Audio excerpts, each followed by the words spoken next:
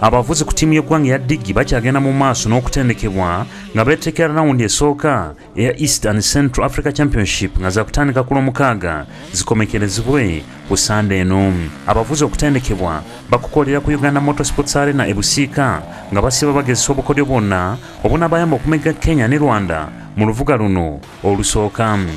fatu kigundu ne brian kasirye be bamu ku bagenda okuvuganya mu mutenda gwa mx2 nga beweredde bannakenya training yange nabe nga anakenya tuwa hard challenge kubanga twawuddiko mu baita timu yamaanyi okufuna ya bulijjo.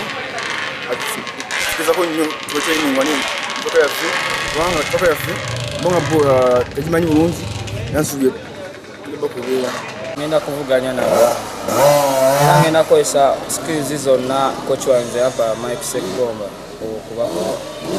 yo kenya erangidde ttiimu y'abavuzi 21 nga bakulembeddwamu ngungi waweru ne alex moyi nga bano bakuvuganya mu mutenda gw'abakafulu ogwa mx1 nga abamu ku bavuzi batuuse mu ggwanga. Uganda yawangula engula eno omwaka ogwedde ekintu kyeruubira okuddamu okukola n'omwaguno